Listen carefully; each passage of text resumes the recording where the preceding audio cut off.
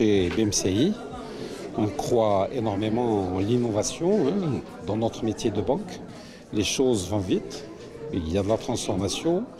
On demande de plus en plus d'innovation, d'agilité et euh, aujourd'hui, l'ouverture du design lab rentre dans ce cadre.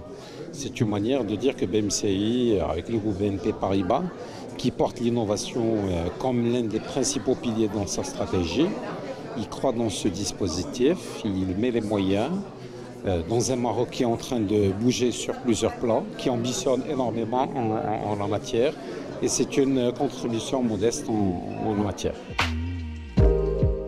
L'idée est assez simple, euh, somme toute, c'est de, soutenir le développement de l'écosystème marocain qui est dans une dynamique euh, qu'on voit grandir et je pense qu'on est qu'au début, c'est une conviction. Voilà, donc on veut être acteur au soutien et puis dans le futur tirer aussi parti euh, des innovations marocaines parce qu'elles sont déjà nombreuses et euh, on veut avoir un réceptacle pour recevoir tout ça. Voilà. Donc ce lab ici, euh, c'est avant tout un, endroit de travail, de co-création, c'est un endroit d'éducation où on veut aussi faire sortir nos employés, nos collègues de la BMCI pour aller dans un endroit inspirant. Et puis, c'est aussi accompagner la jeunesse marocaine. Voilà, on est, on est très présent dans les universités, dans les hackathons, et on veut leur fournir un espace de travail digne de leurs ambitions.